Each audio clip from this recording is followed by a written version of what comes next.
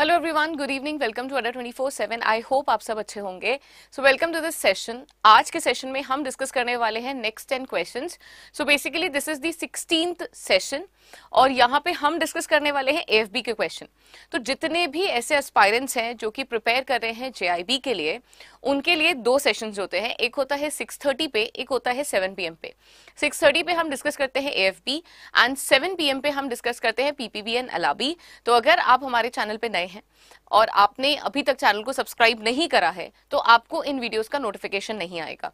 तो आप सबसे पहले क्या कर लीजिए सब्सक्राइब कर लीजिए चैनल को देन बेल आइकन पे प्रेस कर दीजिए सो दैट आपको एक ऑटोमेटिक नोटिफिकेशन आ जाएगा जब भी सेशन स्टार्ट होगा।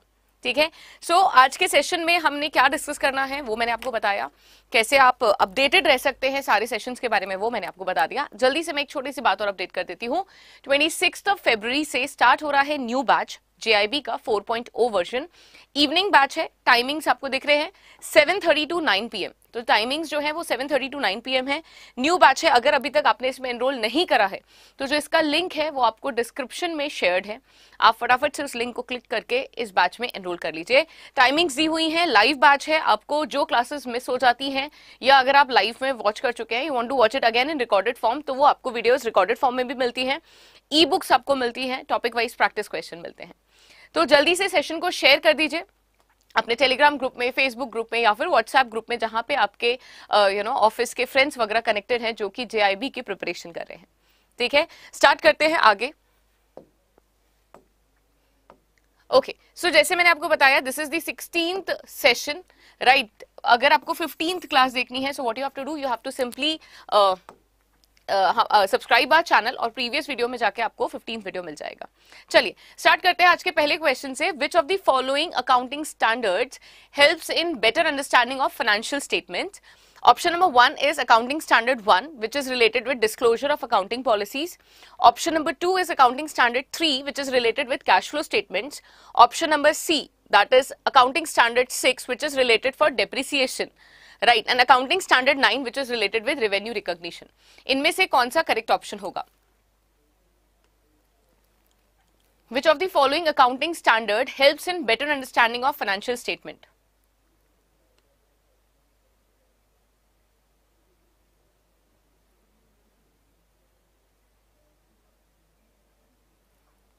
very good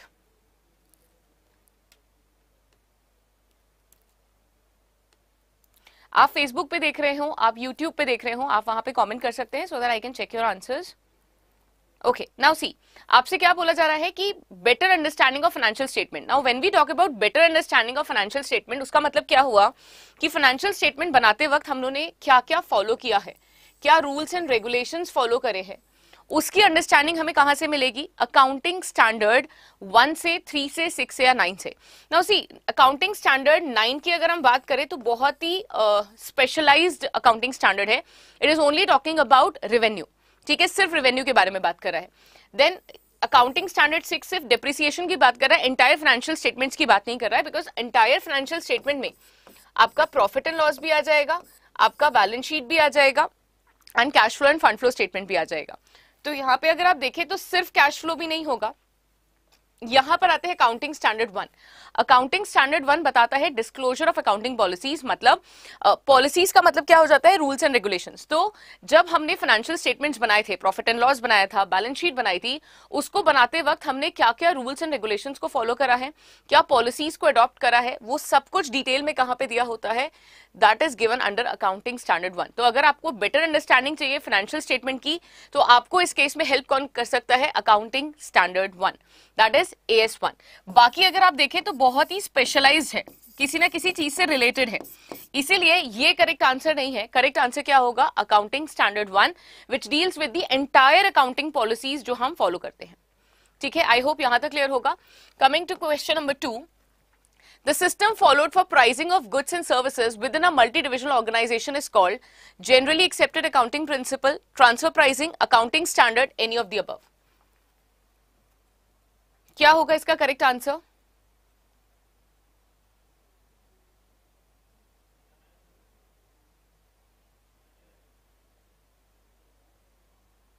do you think is the right answer? Now, एक ऐसा सिस्टम जो हम फॉलो करेंगे while pricing of goods and services see जब भी ये वर्ड आपको मिल जाए कि किसी मल्टी डिविजनल ऑर्गेनाइजेशन में आपको गुड्स की प्राइसिंग करनी है ठीक है? So these are the two key words over here आपका डायरेक्टली आंसर क्या हो जाएगा? Transfer pricing so transfer pricing is a mechanism जो हम फॉलो करते हैं गुड्स को प्राइस करने के लिए। एक मल्टी डिविजनल ऑर्गेनाइजेशन में या फिर सी बेसिकली क्या होता है जब आप एक रिलेटेड ऑर्गेनाइजेशन में गुड्स खरीद और बेच रहे होते हैं तो उस केस में आपको क्या चाहिए होता है? आपको एक स्टैंडर्ड प्राइस चाहिए होता है एक एक यू you नो know, एक आप बोल सकते हो कि एक रिलेटेड प्राइस चाहिए होता है जो कि फेयर इनफ हो। और वो फेयर इनफ प्राइस को हम क्या बोलते हैं? ट्रांसफ़र प्राइसिंग इसके काफ़ी सारे मेथड्स हैं जिसके थ्रू हम ये फेयर मेथड या मतलब फेयर वैल्यू निकाल पाते हैं जिसपे हम गुड्स को खरीद या बेच सकते हैं या सर्विसेज़ को एक्सचेंज uh, कर सकते हैं. So that price is called as transfer pricing ना talking about the other option एक ऑप्शन आपको दिया हुआ है जनरली एक्सेप्टेड अकाउंटिंग प्रिंसिपल ना वॉट इज़ गैप गैप तो बेसिकली क्या है? यूनाइटेड स्टेट्स ऑफ़ अमेरिका के यूएसए uh, के ये अकाउंटिंग प्रिंसिपल्स है. जैसे इंडिया में वी हैव अकाउंटिंग स्टैंडर्ड्स वैसे ही यूएसए में गैप चलता है। ठीक है? देन अकाउंटिंग स्टैंडर्ड कहाँ पे फॉलो होते हैं? इंडिया में। So these are all rules and regulations and any of the above नहीं बिकॉज़ ये स्पेसिफिकली किसके बारे में बात करते हैं? फाइनेंशियल स्टेटमेंट की प्रिपरेशन के बारे में। ये बोलते हैं कि फाइनेंशियल स्टेटमेंट को प्रिपेयर करते वक्त हमें क्या रूल्स एंड रेगुलेशन को फॉलो करना पड़ेगा ये उसके बारे में बताते हैं। ठीक है? सो so, यहाँ पे करेक्ट आंसर क्या हो जाएगा? ट्रांसफ़र प्राइसिंग ठीक है? Moving towards the next question question number three Cash book keeps record of all the business transaction, all cash receipts and cash payments. Option number C, all cash and non-cash transaction. And option number D, only uh, trading related uh, cash receipts and payments. What do you think is the right answer?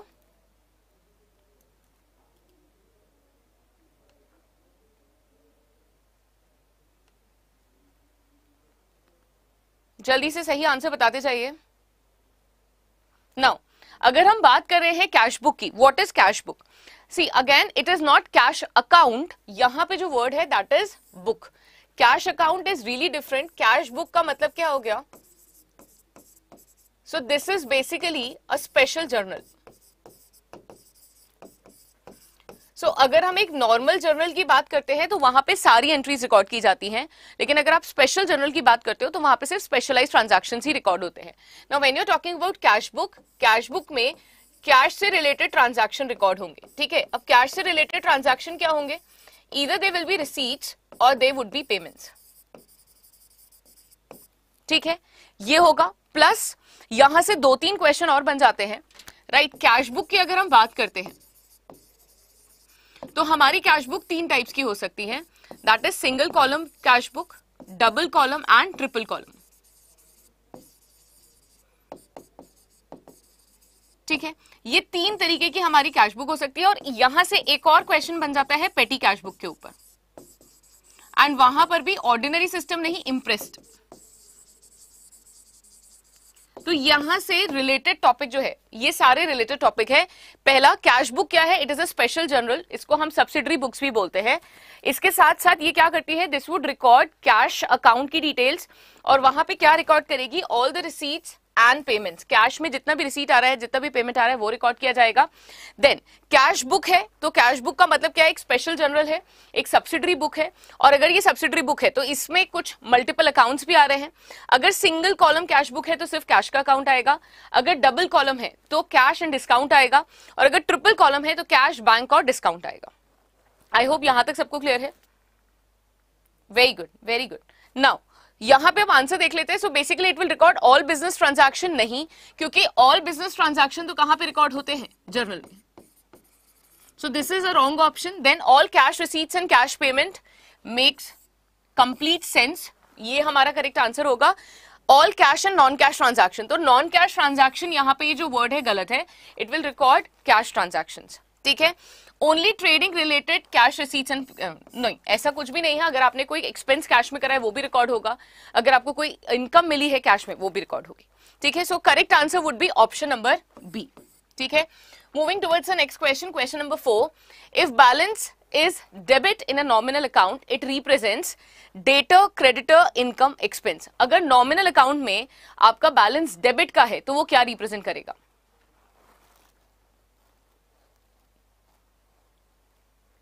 Very good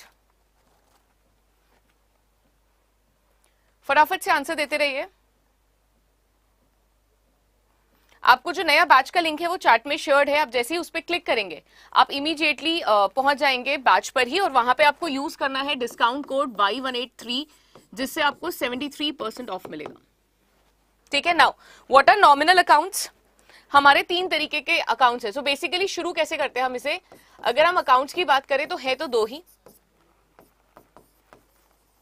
That is personal and impersonal ठीक है? Now impersonal are further divided into two that is real and nominal ठीक है? अब अगर exam में आपको question आता है और वो पूछते हैं कि कितने तरीके के अकाउंट होते हैं, आप बोलेंगे दो ही होते हैं that is personal and impersonal आप तीन नहीं बोलेंगे दैट्स अ रॉन्ग आंसर ठीक है? अब रियल में आते हैं आपके असेट्स राइट right, और नॉमिनल में आते हैं सारे इनकम एंड एक्सपेंसेस ठीक है? अब ये बोल रहा है कि अगर नॉमिनल अकाउंट में डेबिट बैलेंस है ठीक है? तो फिर वो क्या रिप्रेजेंट करेगा? ना what is the rule nominal account में इनकम और एक्सपेंसेस आते हैं लॉस और गेन आते हैं. The rule is what do we debit we debit all the expenses and losses and we credit all income and gains. Now, according to this, क्या correct answer हो जाएगा?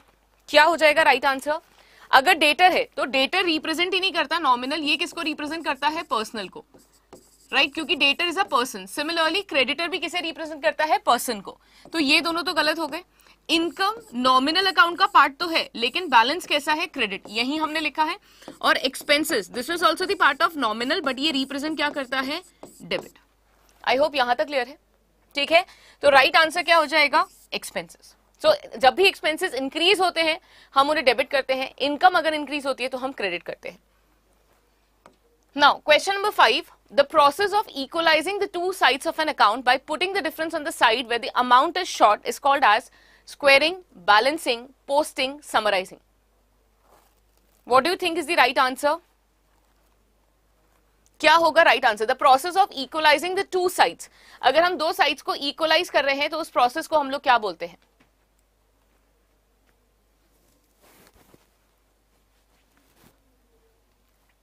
What is this process called equalise करने का।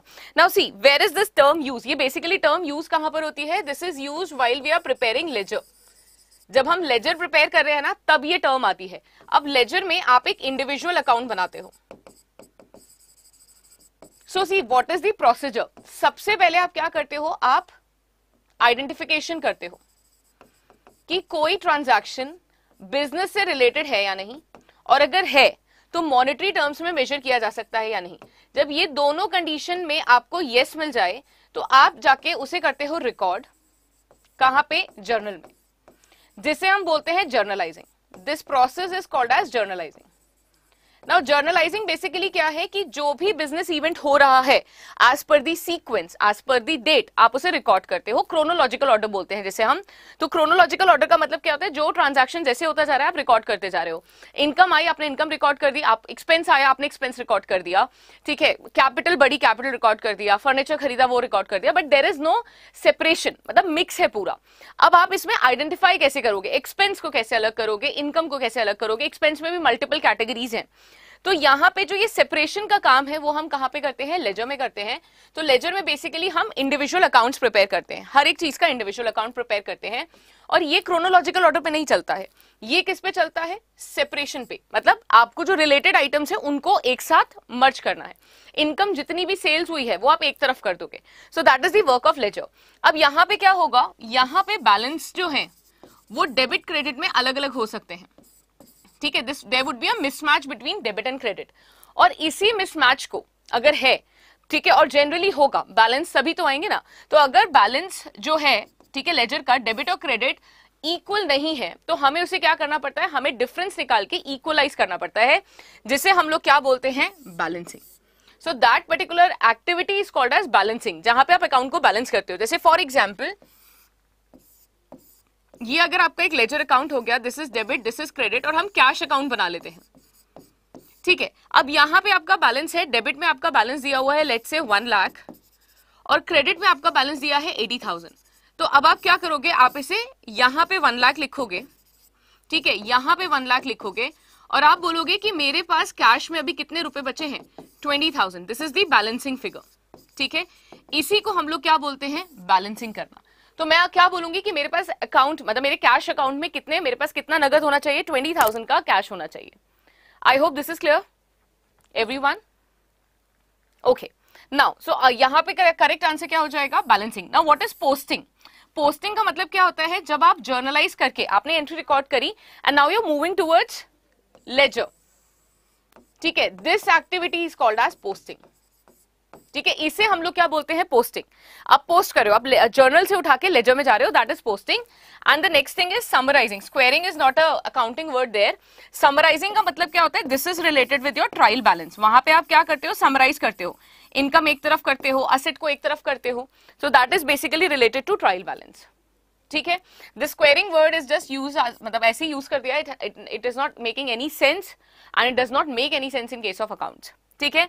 Now moving towards the next question question number six the description given to which of the following transaction does not match तो यहाँ पे जो description दिया हुआ है, ये इनमें से कौन सा मैच नहीं करता है?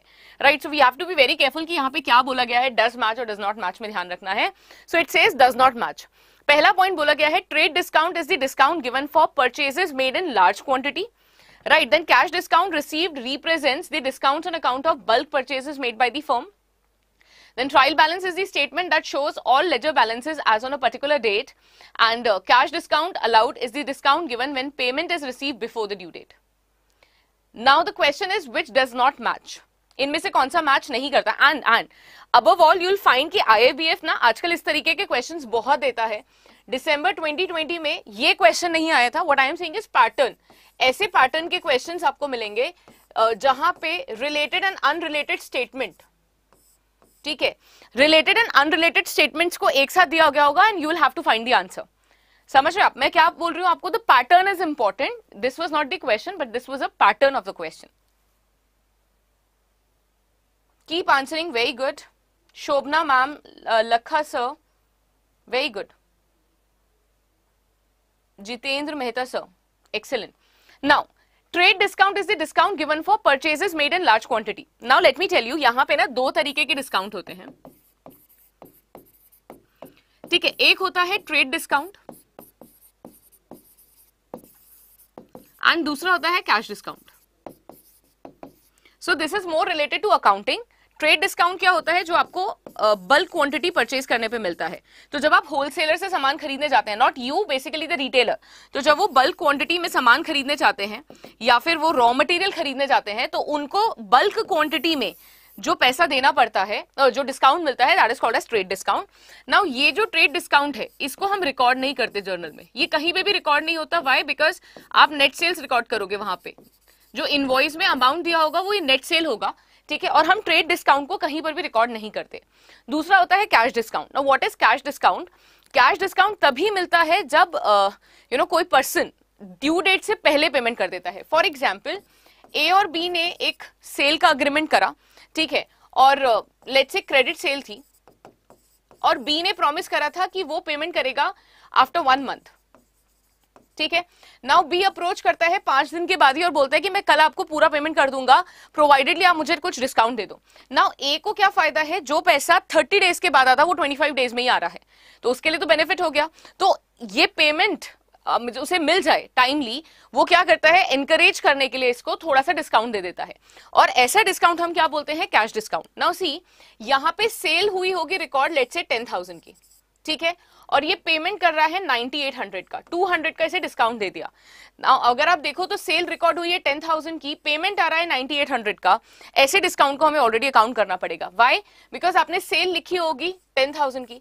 अब आप डिस्काउंट अगर लिख रहे हो, ठीक है, आप लिख रहे हो पेमेंट आ रहा है 9800 का।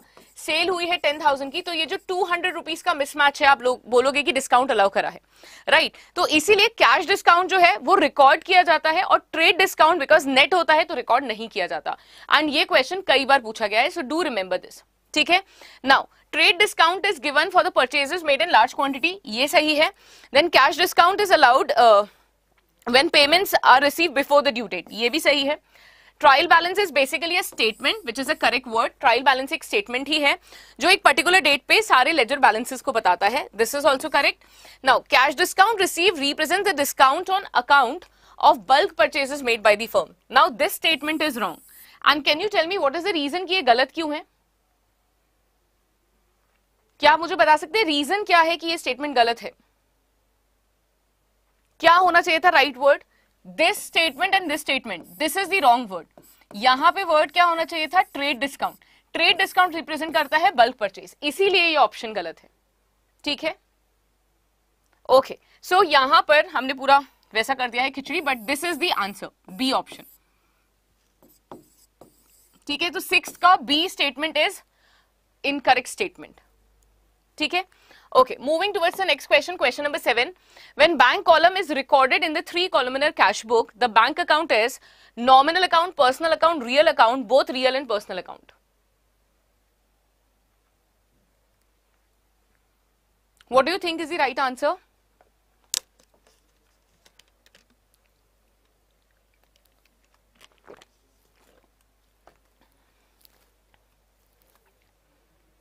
So when bank column is recorded, अब बैंक कॉलम आप कहीं पे भी रिकॉर्ड करो। सो so, ये क्या करा है ना? ये जो पर्टिकुलर लाइन है, ये आपको कंफ्यूज करने के लिए दी हुई है। ठीक है? Doesn't make sense bank column आप कहीं पे भी रिकॉर्ड कर रहे हो।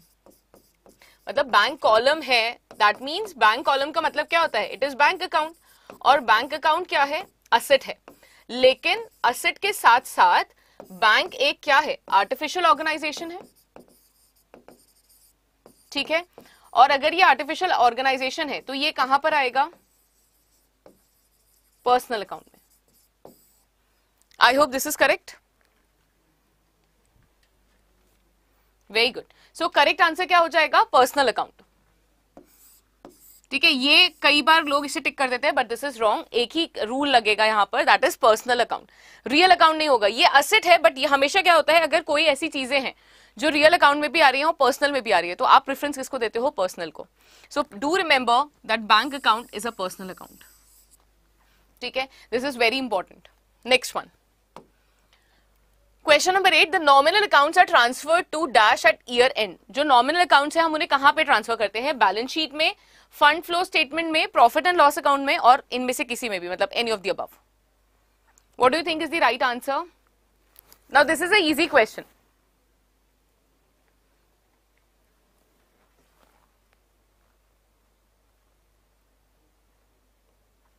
very good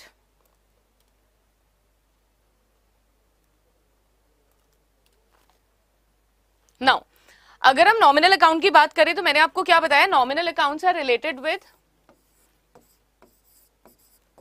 income gains expenses and losses और ये सब कहाँ पे जाते हैं? पी एंड एल अकाउंट में। That is profit and loss account में। ठीक है? ये कहाँ पे जाएँगे? प्रॉफिट एंड लॉस अकाउंट में। अगर इसकी जगह असेट है लाइबिलिटीज है कैपिटल है, ये तीनों कहाँ जाएँगे? बैलेंस शीट में। सो आई होप आपको ये पता ही है कि पाँच ही अकाउंट्स होते हैं। यही अकाउंट्स है जो पाँच बनते हैं। क्या क्या आपके पाँच अकाउंट बनते हैं? सो बेसिकली शॉर्टकट होता है एल आई सी ए ठीक है? यही फाइव टाइप के अकाउंट्स होते हैं आपके। L I C is your basically liability I is for your income C is your capital ठीक है A is your asset and E is for your expense तो ये और इनकम ये तो कहाँ पर आता है? प्रॉफिट एंड लॉस अकाउंट में। बाकी बचा आपका असेट लाइबिलिटीज एंड कैपिटल ये कहाँ पे ट्रांसफ़र होता है? बैलेंस शीट में। तो यहाँ पे राइट right आंसर क्या हो जाएगा? Profit and loss account right moving on to the question number nine When the sales of good takes place on credit basis, the seller becomes creditor and buyer becomes debtor. The seller becomes debtor and buyer becomes creditor. The seller becomes debtor and buyer becomes the agent. None of the above. काफ़ी अच्छा question है very good question and very important थोड़ा सा confusion create करता है तो काफ़ी important हो जाता है ए और बी दो जने हैं ठीक है क्रेडिट सेल हुई है नाउ थिंक केयरफुली बी जो है वो पेमेंट देगा ए को right he would pay and A कौन है जो कि पेमेंट रिसीव करेगा? यही हो रहा है, ठीक है? नाउ ए के लिए ए के लिए ए के पॉइंट ऑफ़ व्यू से हम बात करें ए को पैसा मिलेगा बी से। तो for A B is what debtor right B के लिए ए क्या है? उसे पे करना है। क्या बोलेगा? Creditor yes or no? Now, who is a? A is seller. Who is b? Buyer. तो यहाँ पे सेलर क्या बन रहा है? ए क्या बन रहा है? क्रेडिटर बी क्या बन रहा है? डेटर सी दिस डेटर मतलब पैसा मिलेगा. We will receive amount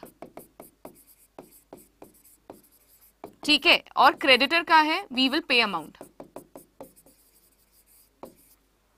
I hope यहाँ तक क्लियर है तो हम देख लेते हैं seller would become what Creditor and the buyer would become debtor that is option number A ठीक है next one question number ten A company having a place of business in India but not having its incorporation in India is called as private company, uh, company, government company or foreign company. What do you think is the right answer?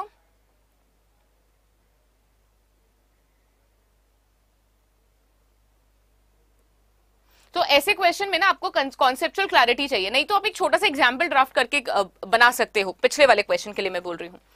Now on the basis of incorporation ठीक है, हमारी जो companies होती हैं on the basis of incorporation statutory companies हो सकती हैं chartered companies हो सकती हैं रजिस्टर्ड कंपनीज़ हो सकती हैं एंड फॉरेन कंपनीज़ हो सकती हैं।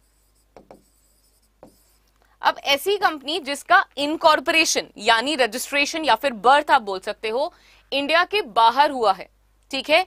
उसको हम लोग क्या बोलेंगे? फॉरेन कंपनी तो एक ऐसी कंपनी जिसका जन्म बाहर हुआ है इंडिया के that is a foreign company now statutory companies क्या होती है? जैसे कोई स्पेशल एक्ट के थ्रू अगर कोई कंपनी बनती है तो उसको हम बोलते हैं स्टैट्यूटरी कंपनी जैसे एल आई आपका सी हो गया एसबीआई हो गया आरबीआई हो गया all these are your statutory company chartered companies अभी एक्टिव नहीं है. ईस्ट इंडिया कंपनी जो प्रिंस के द्वारा बनाई जाती है, राजा महाराजाओं के द्वारा किंग वगैरह या रूलर्स के द्वारा बनाई जाती है that is a chartered company East India Company is an example of it registered company कौन सी होती है? जो कि रजिस्टर्ड होती है कंपनीज़ एक्ट के अंदर. ठीक है? कंपनीज़ एक्ट 2013 के अंदर जो रजिस्टर की जाती है that is your registered company और यहाँ पे आपका आता है private companies and public company ठीक है? नेक्स्ट आता है foreign company what are foreign company जिनका जो जन्म है, वो इंडिया के बाहर हुआ है. Incorporation is like registration of birth of a company वो इंडिया के बाहर हुआ है तो हम उसे बोलते हैं फॉरेन कंपनी सो ये आज के टेन क्वेश्चन से फटाफट से आप मुझे अपने स्कोर एक बार बताते जाइए. ठीक है? क्या स्कोर आपका रहा? अगर आपको सेशन पसंद आया तो make sure that you like the video और अगर आपका कोई भी क्वेश्चन अनआंसर्ड रह गया है मुझसे सेशन के दौरान तो प्लीज़ नीचे कमेंट सेक्शन में आप अपने डाउट्स को मुझसे पूछ सकते हैं। जब तक आप ये स्कोर अपना शेयर करते हैं, तब तक मैं आपको बता देती हूँ कि कैसे आप एनरोल कर सकते हैं इस बैच में। जो बैच ट्वेंटी सिक्स से स्टार्ट हो रहा है, उसमें एनरोल करने का प्रोसीजर क्या है? सो बेसिकली बैच में एनरोल करने के लिए आपको विज़िट करना पड़ेगा Adda twenty four seven dot com आपको ऊपर दिख रहा होगा, ठीक है? तो आपको विज़िट करना है Adda twenty four seven dot com और विज़िट करने के बाद आपको ये वाला पेज आएगा, ठीक है? अब यहाँ पे आपको क्या करना है? थोड़ा सा आप स्क्रॉल करेंगे तो आपको यहाँ पे दिख जाएगा जेआईबी ये आइकन आपको दिख रहा है दैट इज़ जेआईबी आइकन आपको इस पे क्लिक करना है और यहाँ पे क्लिक करने के बाद ठीक है आप थोड़ा सा ऊपर जाएँगे and you'll find the new batch 26th of February से 7:30 to 9 PM so this is the prime time जो आप लोग को चाहिए होता है ठीक है? सो so, आप इस बैच पे क्लिक करेंगे ठीक है? सारी डिटेल्स आपको दी हैं and I would request you to read the entire details before you enrol आप सब कुछ आराम से पढ़कर ही बैच खरीदिएगा। यहाँ पे आप थोड़ा सा आगे पढ़ेंगे तो यहाँ पे आपको दिया हुआ है चेक द स्टडी प्लान आप हियर पे क्लिक करेंगे स्टडी प्लान खुल जाएगा। आप पूरा स्टडी प्लान देख सकते हैं कंफ्यूजन अवॉइड करने के लिए। ठीक है? अभी जब तक ये लोड हो रहा है, मैं आपको बता देती हूँ। आपको क्या क्या मिलेगा? आपको इसमें लाइव क्लासेस मिलेंगी। उसके बाद वही क्लासेस 12 टू 14 आवर्स हम 24 आवर्स बोल रहे हैं फिर भी बट ये 3 टू 4 आवर्स में अवेलेबल हो जाती है। बट हाँ विद इन 24 आवर्स आपको वो रिकॉर्डेड फॉर्म में अवेलेबल हो जाएगी। आप उस वीडियो को एन नंबर ऑफ़ टाइम्स देख सकते हैं, जितनी बार आप चाहें। This is one thing second thing यहाँ पे आपको टॉपिक वाइज प्रैक्टिस क्वेश्चन मिलेंगे एंड ई बुक्स भी मिलेंगी। तो live classes followed by your e books ठीक है? And your topic wise question ये सब आपको मिलेगा। इसमें एनरोल करने का प्रोसीजर इजी है। आपको क्या करना है? व्यू ऑफर्स पे क्लिक करना है। और व्यू ऑफ़र पे क्लिक करने के बाद आपको यहाँ पे दिख रहा होगा फेब सेवेंटी तो आप फेब सेवेंटी कोड भी यूज़ कर सकते हो। लेकिन उससे आपको सेवेंटी परसेंट ऑफ़ मिलेगा। मैं आपको uh, एक स्पेशल कोड बता रही हूँ that is Y one eight three so you click on apply और आपको इसकी वजह से 73 परसेंट ऑफ़ मिलेगा। तो 73 परसेंट ऑफ़ अगर आपको चाहिए तो you'll have to use the code Y one eight three अगर आपको कोड विजिबल नहीं है तो मैं वापस से लिख देती हूँ। Y one eight three for 73 percent of और ये 73 परसेंट ऑफ़ के लिए आपको अड्डा की ऐप को डाउनलोड करना पड़ेगा। सो so आप स्टोर विज़िट करके अड्डा 24/7 की ऐप डाउनलोड कर लीजिए। डाउनलोड करने पर आपको कुछ कॉइन्स मिलते हैं, जिससे आपको एडिशनल डिस्काउंट मिलता है। ठीक है? तो प्रोसीजर मैंने आपको बता दिया है। लिंक आपको शेयर्ड है। चैट में आप फटाफट से उस पर क्लिक करके बैच में एनरोल करवा सकते हैं। लिमिटेड सीट्स है बिकॉज़ टाइम बहुत प्राइम है। Sorry seven thirty to nine का टाइम है। This is your prime time ठीक है? इवनिंग स्लॉट है, बहुत जल्दी फिल हो जाता है 26 से बैच शुरू हो रहा है। जितनी जल्दी हो सकता है एनरोल करवा लीजिए। वाई बिकॉज़ डे वन से आप अपने डाउट्स पूछ सकते हैं। We have this unique interactive platform जहाँ पे आप लाइव क्लासेस के दौरान अपने डाउट्स को पूछ सकते हैं टाइप कर सकते हैं। यू नो बेसिकली आप कॉल पे भी बात करके हमसे अपने डाउट्स को पूछ सकते हैं। सो आई होप आपको ये सेशन पसंद आया होगा। Thank you for joining thank you for your valuable time मैं आपको कल मिलूँगी फिर सेम टाइम पे that is six thirty P M and then we will be again discussing the next ten question ठीक है? Thank you take care